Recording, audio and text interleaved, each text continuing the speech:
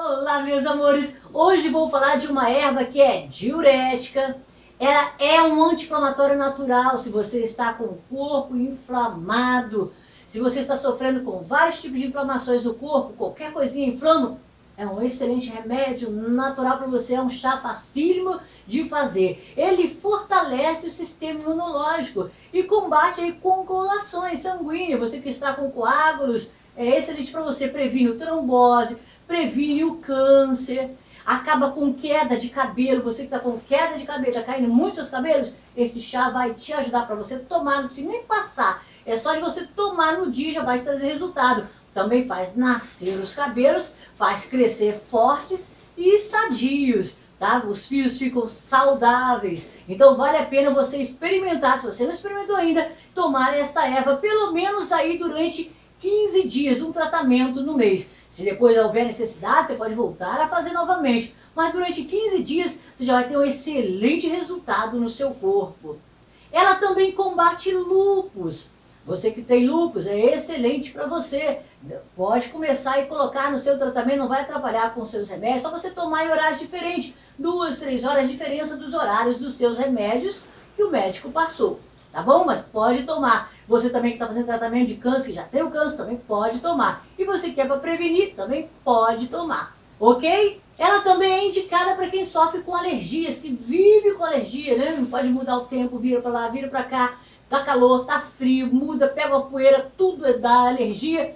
É uma erva indicada para quem sofre com alergias. Ela combate alergias. Ela também é indicada para quem está com leucemia, que está fazendo tratamento com leucemia, pode colocar no seu dia a dia, fora dos horários do remédio. Se você toma seu remédio 10 horas da manhã, deixa passar 3, 4 horas de diferença e toma o seu chá, que não vai atrapalhar o seu tratamento, ao contrário, vai ajudar. Você também que está com anemia, que vive com anemia, é um chá também indicado para você.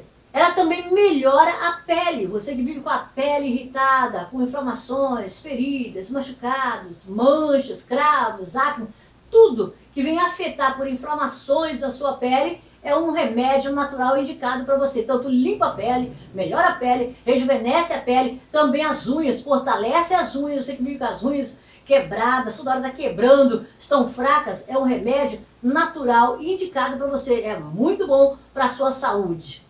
Ela também age como antidepressivo. Para você que vive com depressão, é um excelente remédio que vai te auxiliar no tratamento da depressão. Hoje eu estou falando do dente de leão. É essa erva aqui. No quintal, nas ruas, você encontra assim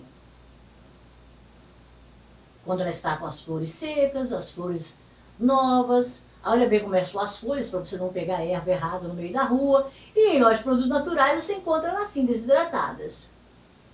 Essa é a erva dente de leão. Eu vou te ensinar agora como você vai fazer o chá para você tomar durante os seus 15 dias de tratamento. Você também que está com colesterol alto, é ótimo para você. Tanto abaixa o mau colesterol, como abaixa também os triglicerídeos. Vamos então ao nosso chá. Você vai precisar de tomar 3 xícaras ao dia. Se a erva tiver verde, você vai colocar um litro de água para ferver junto com a erva verde. Você pega um pezinho, pode ser com a raiz e tudo, tá? Você pode pegar a raiz e as folhas, não tem problema. A raiz é excelente, então você pode fazer o chá com tudo. Rancou, lava bem lavadinho, faz. Agora, se for desidratadas, você vai usar cerca de 20 gramas ou duas colheres de sopa. Só que desidratada, você não precisa de um litro, porque você vai tomar três vezes ao dia. Você pode tomar aí cerca de 200, 250, 200 ml, até 600 ml de água dá, mas você pode colocar a mais. 800 ml para dar 3 xícaras mais cheia, tá bom? Não precisa de ser um litro para quem vai usar desidratadas. Um litro é só para quem está usando a erva verde. Então eu vou colocar aqui cerca de 800 ml. Pode ser de 600 a 800 ml para dar 3 xícaras. Porque aí dá uma xícara de 200 ml. Mas você pode fazer a xícara mais cheia um pouquinho, 250 ml. Não pode colocar aí de 600 a 800 ml. É só colocar ferver. Desidratada, a água primeiro. Verde, a erva junto. Com um litro de água. Ok? Então deixa ferver essa água aqui. Daqui a pouquinho eu volto para fazer desidratada e te explicar aí como é o processo. Ok? A água está fervendo apaga o fogo assim que ferver, se você vai fazer com a desidratada, e coloque duas colheres de sopa da erva, tá? Ou 20 gramas, tá bom? Não coloque mais do que isso. Vai ser para três doses. Vou colocar assim que é mais fácil. Misture, tá?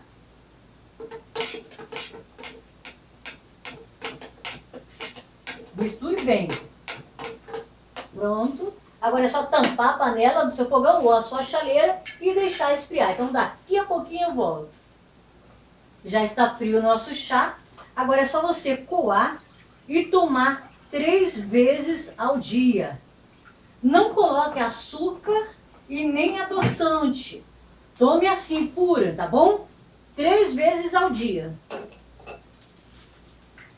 Uma xícara após o café da manhã, uma xícara após o almoço e a outra xícara após o jantar. Você pode tomar assim durante 15 dias. Aí você vai parar, vai descansar pelo menos 15 dias.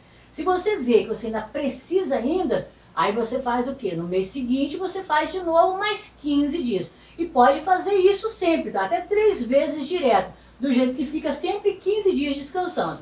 Toma 15 dias, descansa 15 dias toma 15 dias de novo depois descansa 15 dias. Aí você pode tomar mais 15 dias. Você pode tomar 15 dias até 3 vezes, do jeito que descansa de 15 em 15 dias, entendeu?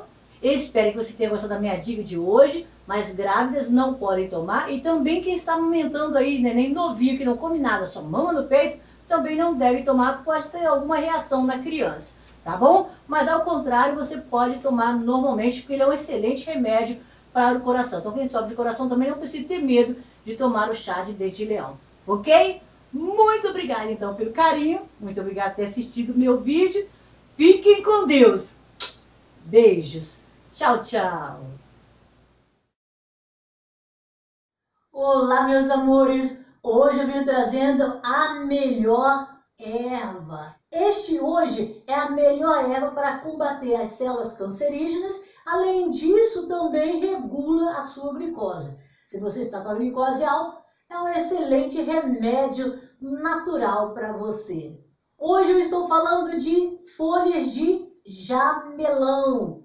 Muita gente fala jambolão. O seu nome científico é este aqui. Você encontra também as suas folhas desidratadas em lojas de produtos naturais é muito fácil de encontrar. Tanto você vai encontrar como jambolão, como jamelão. É só você olhar o nome científico. Leva o nome científico, é este aqui. Não deixa o nome científico em casa, não. Leva com você para mostrar lá na hora quando você for comprar a sua erva. Agora, se você tem o pé em casa, é este pé aqui. Para quem não conhece, as frutinhas dele é uma delícia. É uma delícia. Eu adoro fruta de jamelão. E quando ele cai no chão, o chão fica todo roxinho. Quem tem casa sabe disso. É um excelente remédio para combater células cancerígenas, tanto você que já tem e como você quer evitar. Então, é um excelente remédio natural. E para regular sua glicose, porque é um excelente remédio para o pâncreas. Ele ajuda o pâncreas a produzir insulina, ele melhora o funcionamento do pâncreas. Então, é um excelente remédio para quem está sofrendo com diabetes, quem tem a glicose alta, que também não é diabético ainda, está no pré, é um excelente remédio também para pré-diabético, tá bom? Folhas de jamelão, vou te ensinar como você vai fazer o chá e como você vai tomar no dia a dia, como vai ser. Vamos fazer o nosso chá então? Então vamos à nossa receita, vamos colocar um litro de água para ferver. Coloca aí no seu fogão, na sua chaleira elétrica.